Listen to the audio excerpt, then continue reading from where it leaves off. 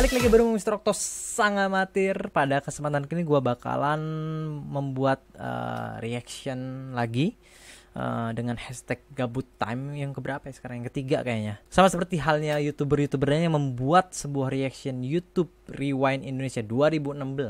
Uh, gue pun akan membuat hal itu. Tapi bedanya gue bukan pertama kali uh, menonton video ini karena pada saat kemarin ini tanggal berapa? Tanggal 19 Desember. Oh, udah tanggal 19 ya. Uh, kemarin lusa tepatnya hari Sabtu itu gue udah lihat video ini di acara YouTube Year End. Dan karena situasi dan kondisinya yang kurang memungkinkan untuk menghayati betul apa makna dan juga isi dari videonya, jadi kita akan kupas tuntas dalam reaction time kali ini atau gabut time kali ini. Uh, lebih tepatnya mungkin ini disebut dengan mengkaji apa sebenarnya pesan yang terkandung uh, di dalam video ini yang disampaikan oleh si pembuatnya. Ya, uh, sebelumnya kita budayakan like. Kita tonton dulu baru kasih like sih, karena gue udah nonton jadinya gue kasih like duluan. Kita langsung aja tonton full screen.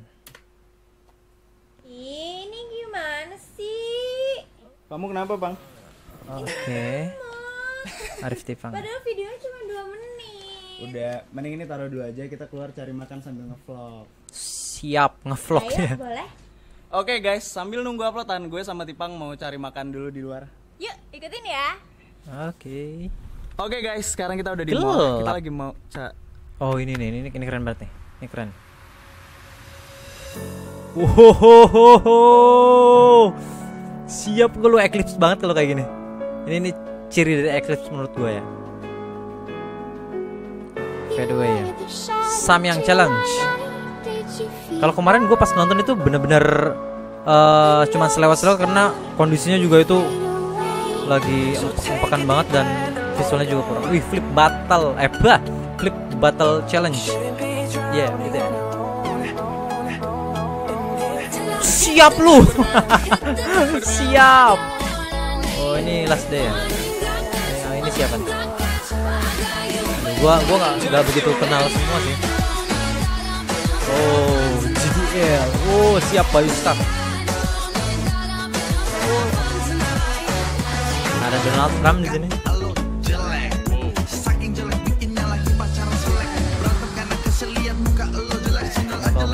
Sama mau sama bis sama siapa? Lupa gua. Oh, siap. Agung Hapsa sama siapa? Lupa gua namanya. Ini oh Joker.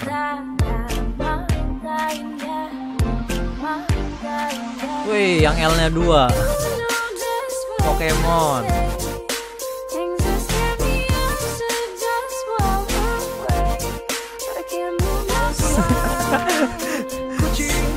Sepasang orang gila tadi.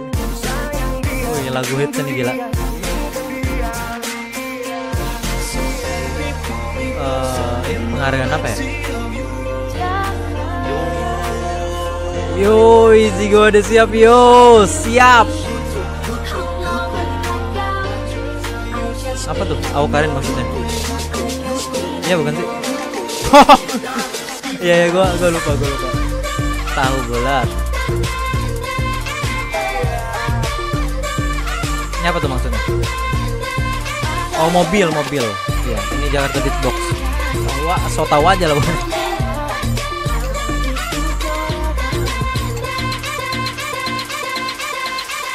Kelar. Oh enggak enggak. Gua gua Oh iya. Ada bagian ini kemarin.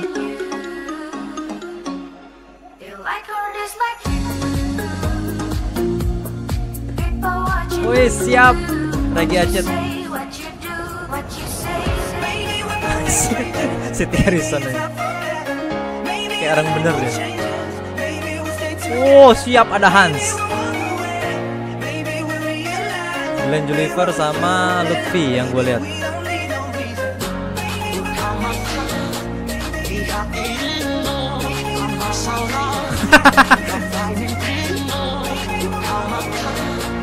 si Olo ya? Wih, bong. Asik nih.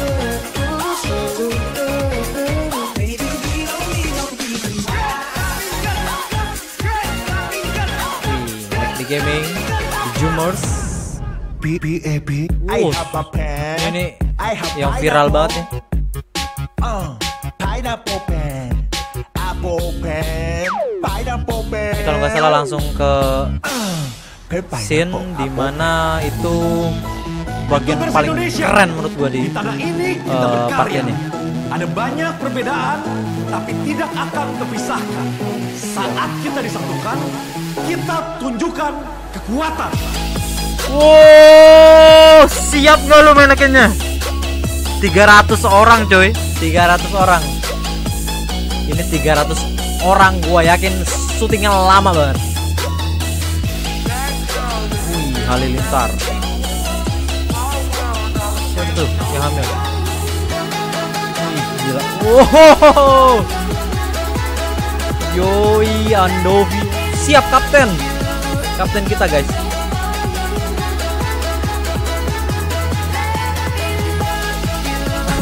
itu siapa ya?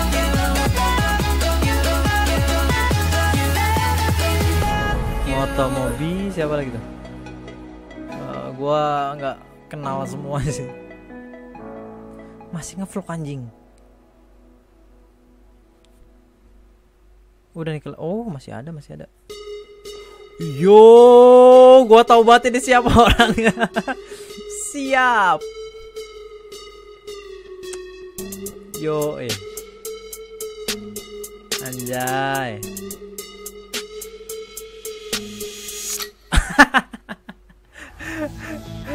Itu regi banget anjir.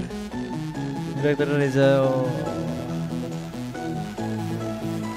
Eka Gustiwana pasti musik producer editor and Andi Kursi.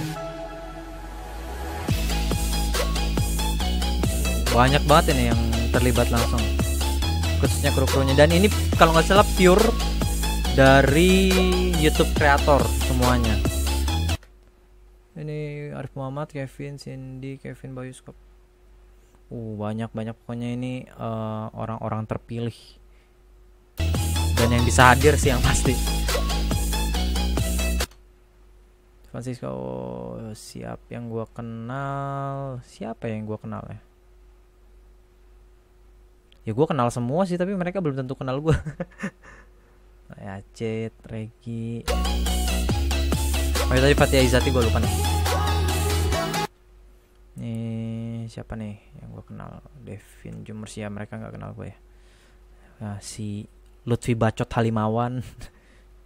Yosi Kampret Olo ada Alison juga Thierryson Gogogoy Dylan Pros McD Gaming Moses Aurikules uh, Ju- The Jumers yang pasti. Hans DBD Jumers yoi.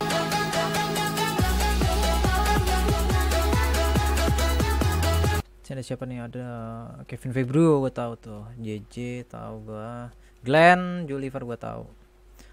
Roy Leonard gue kemarin sempat ketemu juga sih kayaknya di uh, year end No, oh Arab pasti, so pasti Arab yang lag. Motomobi gue pernah lihat juga tuh.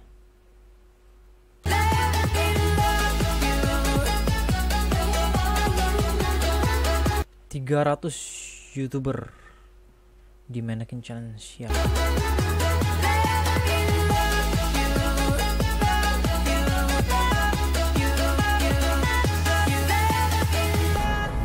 Oke. Ada hal yang sangat penting yang ingin gua tanggapi. Gue pengen mengkaji sebenarnya apa sih isi dari video ini dan apa sih tujuannya dibuat video ini YouTube Rewind Indonesia 2016 Unity in Diversity. Ini bener gak eh, pengucapannya? Gua udah siapin Google Translate. Unity in diversity. Unity in diversity ya. Pokoknya gue nggak mau dikatain uh, rip English nanti. Ya bacanya kayak gitu. Tapi ini kita kita sedikit agak serius. Selain dari tampilan dari apa uh, shoot dan konsep uh, konsep mungkin termasuk yang akan gue bahas nanti. Uh, semuanya totally menurut gue bagus semuanya rapih menurut gue itu pandangan gue dan gua nggak mau membanding-bandingkan ini dengan YouTube Rewind yang lain. Kayak misalkan Semarang terus Tangerang kalau nggak salah. Ada yang beberapa yang lain. Gue nggak bisa eh, membandingkannya. Karena menurut gue titik fokus di dalam videonya itu berbeda menurut gue contohnya kayak eh, YouTube Rewind Semarang dengan eh, YouTube Rewind Indonesia 2016 dari tema aja dari topik dan juga judul udah jelas di situ ada Unity in Diversity yang artinya adalah di Google Translate ini bersatu dalam perbedaan bineka tunggal ika. Oke, kita catat eh, kita garis bawahi bineka tunggal ika berbeda tapi tetap satu. Ini adalah fokus dari YouTube Rewind Indonesia 2016 yang dibikin oleh Chandra Leo dan juga Arab. Sedangkan yang Semarang, gue kemarin udah sempet nonton itu lebih ke sama kayak YouTube Rewind 2015, di mana mereka itu titik fokusnya ke trending apa aja yang ada di YouTube.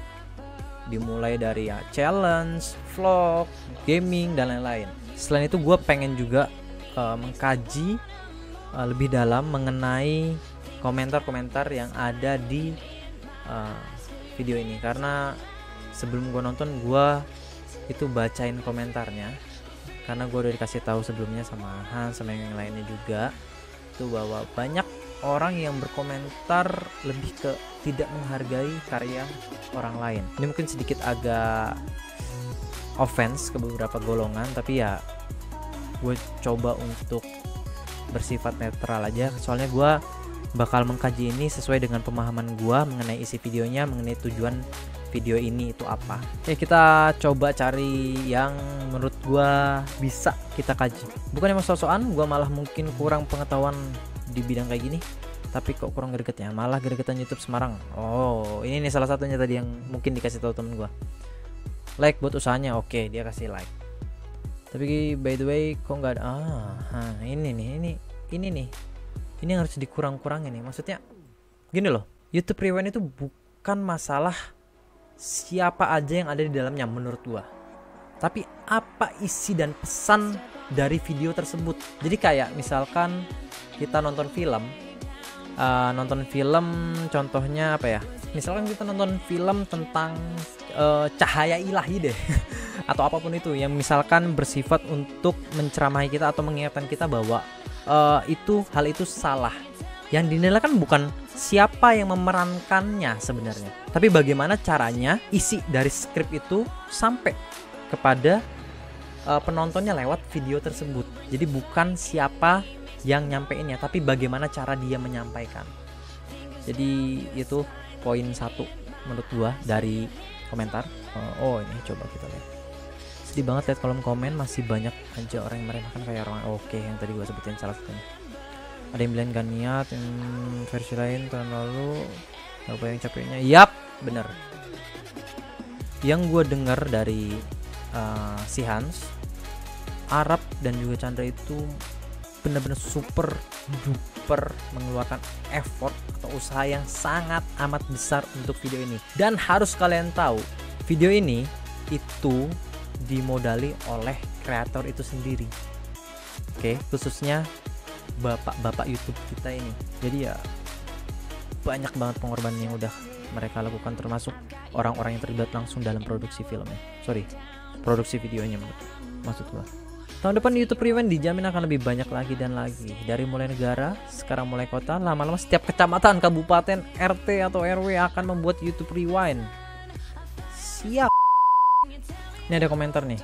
Sorry mampir ya cuman saran gak jelas. Cuma saran gak jelas video ini.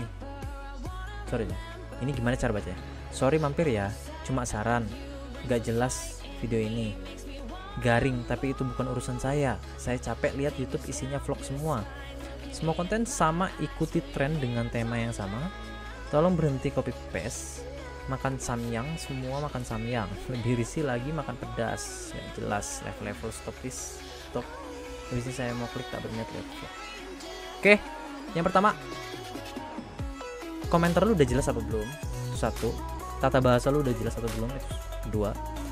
Yang ketiga adalah vlog samyang terus apa? Ya challenge challenge yang lain. Eh, menurut gua menurut pandangan gua itu adalah konten-konten yang merefresh kita sejenak daripada main konten kita. Dalam artian kita punya konten khusus. Contohnya kalau gue pribadi gaming. Gue fokus di gaming. Entah itu gamenya dari mulai yang ecek-ecek sampai yang game berat kayak Battlefield atau GTA 5 misalkan. Itu main konten gue tapi eh, suatu waktu gue juga eh, memunculkan konten-konten lainnya. Kayak contohnya misalkan eh, text prank pernah terus reaction juga pernah itu dulu iseng-iseng. Ya itu fresh konten gue gitu untuk eh, menghibur viewer atau subscriber gue biar nggak jenuh biar nggak cuma ngeliat gaming-gaming doang gitu tuh. Itu sih pandangan gua. Terlepas banyaknya konten yang bertemakan sama tetapi beda kreator itu ya urusan mereka masing-masing toh gaya dan penyampaian orang itu kan berbeda. Siapa tahu ketika gua mereaksikan ataupun ya contohnya kayak sekarang aja deh. Reaction gua sekarang dengan reaction misalkan Hans lebih jauh menarik reactionnya Hans. Itu kan eh, tergantung penilaian orang pribadi masing-masing. Balik lagi ke masing-masing eh, individu itu sendiri gitu.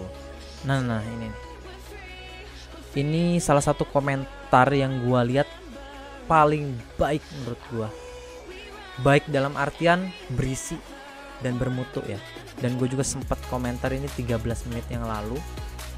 Eh, karena menurut gua pemahaman dia dan gua satu jalan satu alur. Jadi menurut dia gua nggak begitu jago bahasa Inggris. YouTube Rewind adalah recap dari eh, tren positif yang eh, berasal dari YouTube atau hanya dari website lainnya karena itu sebuah subjek yang populer. Ya kurang lebih gitulah. Dia lanjutin menurut gue konsepnya dapat kok bersatu dalam perbedaan sekali lagi bineka tunggal ika. Yang kayaknya diambil dari bineka tunggal ah betul. Di bagian awal pada make baju monokrom. Oh ini detail banget ya saya dan di bagian tengah-tengahnya pada pakai bajunya colorful dan di akhir mereka semua joget bareng-bareng yang artinya walaupun mereka beda-beda tapi tetap satu siap. Loh karena ada yang dibanding-bandingin youtuber ini kok nggak masuk? Tapi yang itu masuk oh siap. Dia berpandangan kurang lebih sama kayak gua. Jadi sebenarnya ketika kita membanding-bandingkan video ini dan video itu lihat dulu titik fokusnya itu di mana. Jangan langsung menjudge sesuatu itu dari penampilannya aja jadi kita coba kaji dulu lebih dalam ini sebenarnya maknanya apa isinya apa balik lagi ke situ jadi pesan gua sih lebih baik berpikir dulu sebelum bertindak daripada ujung-ujungnya malu semoga apa yang gue lakukan ini gue sudah pikirkan matang-matang sebelumnya oke gue Mr. Oktober dari Salam.